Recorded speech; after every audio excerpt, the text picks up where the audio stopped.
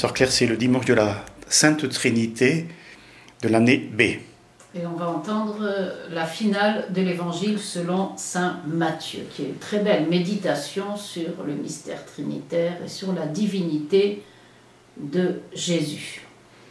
Alors je vais prendre à partir du verset 18 où il est dit Jésus s'approcha d'eux, de ses disciples, et leur adressa ces paroles Tout pouvoir m'a été donné au ciel et sur la terre. Ça, ça veut dire que Jésus est Dieu, l'un de la Sainte Trinité. C'est l'accomplissement, la plénitude de, sens qui est donné au chapitre, au fameux chapitre 7 du prophète Daniel. Daniel 7, 13 et 14. Je contemplais dans les visions de la nuit, voici, venant sur les nuées du ciel comme un fils d'homme. Il s'avança jusqu'à l'ancien et fut conduit en sa présence. À lui fut conféré empire, honneur et royaume, et tout peuple, nation et langue le servirent. Son empire est un empire éternel qui ne passera point, et son royaume ne sera point détruit. C'est ce pouvoir dont parle Jésus ici quand il dit Tout pouvoir m'a été donné au ciel et sur la terre. Ça veut dire que ce qui appartient au Père appartient aussi au Fils.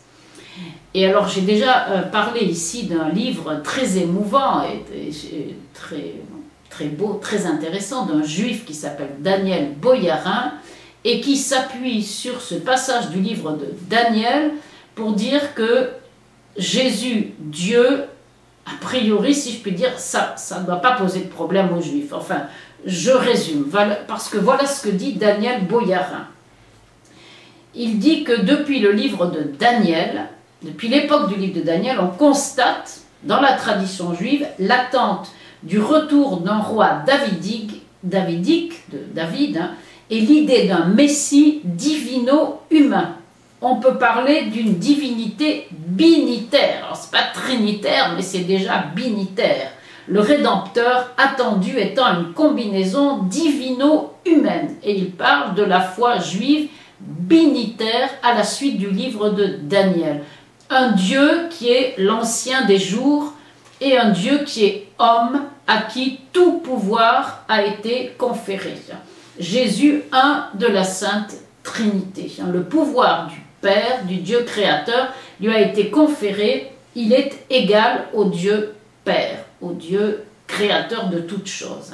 Le verset suivant nous le rappelle, allez de toutes les nations faites des disciples. Celui qui envoie, c'est également Dieu le Père, Dieu le Père Tout-Puissant qui envoie. Comme il est dit dans l'Évangile selon Saint Jean, chapitre 20, verset 21, où Jésus dit, comme le Père envoie, comme le Père m'a envoyé, moi aussi je vous ai envoyé. Ce qui est dit du Père est vrai du Fils. Euh, à propos de la toute-puissance qui lui a été confiée, euh, il est dit au livre du Deutéronome, le livre du Deutéronome rappelle que le seul puissant, c'est Dieu, le seul qui a le pouvoir, c'est Dieu. Deutéronome chapitre 3, verset 24. Mon Seigneur Dieu, toi qui as commencé à faire voir à ton serviteur la grandeur et la puissance de ta main, quel Dieu dans les cieux et sur la terre agit comme tu agis et avec la même puissance. Au Dieu seul, un appartient la puissance. Puissance qui est donnée au Fils et à partir de là, le Fils envoie.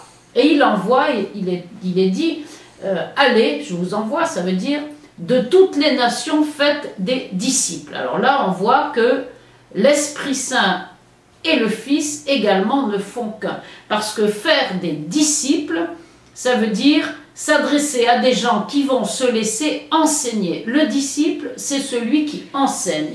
Or, voilà ce qui est dit de l'Esprit Saint, toujours dans l'Évangile selon Saint Jean, chapitre 14, verset 26. Le Paraclet, l'Esprit Saint que le Père enverra en mon nom, lui vous enseignera tout donc Jésus envoie pour enseigner au nom du Père et du Saint-Esprit. C'est l'Esprit Saint qui vous, qui vous enseignera tout.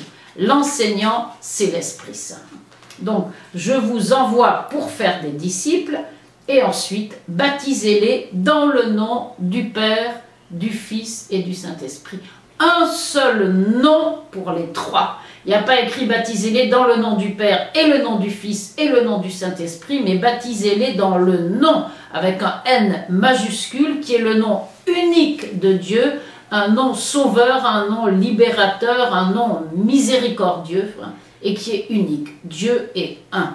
Baptisez-les dans le nom du Père, du Fils et du Saint-Esprit. Ensuite, euh, Jésus rappelle, hein, c'est la fin de l'évangile de selon Saint Matthieu, je suis avec vous tous les jours jusqu'à la fin du monde. Ça, c'est ce qui est dit de l'Esprit Saint dans la Bible, dès les origines. Être avec nous. Qui est avec nous? C'est la nuée qui accompagnait le peuple au désert. Exode 13, 21, il est dit, le Seigneur marchait avec eux, hein, je suis avec vous, le jour dans une colonne de nuée pour leur indiquer la route et la nuit dans une colonne de feu pour les éclairer. Euh, la tradition juive, ou plutôt la tradition biblique, relie l'histoire de cette colonne de nuée comme étant la présence de l'Esprit Saint avec eux, puisqu'il est dit en Isaïe 63, 12, L'Esprit du Seigneur les menait au repos, ainsi tu as conduit ton peuple. Je suis avec vous, c'est Jésus qui ne fait qu'un avec l'Esprit Saint. Cet Esprit Saint dont il sera dit aussi au chapitre 14 de Saint Jean au verset 17, hein, l'Esprit de vérité, il demeure auprès de vous et en vous il sera. Je suis avec vous tous les jours. Et enfin, le, magnifique passage du chapitre 8 de l'Épître aux Romains, l'Esprit en personne se joint à notre esprit. Qui est avec nous? L'Esprit Saint. L'Esprit en personne se joint à notre esprit pour attester que nous sommes enfants de Dieu. Donc cette finale de Saint Matthieu est une hymne à la gloire de Dieu, Père, Fils et Esprit Saint, à la gloire de Jésus qui ne fait qu'un avec le Père et l'Esprit Saint. Sœur Claire, merci.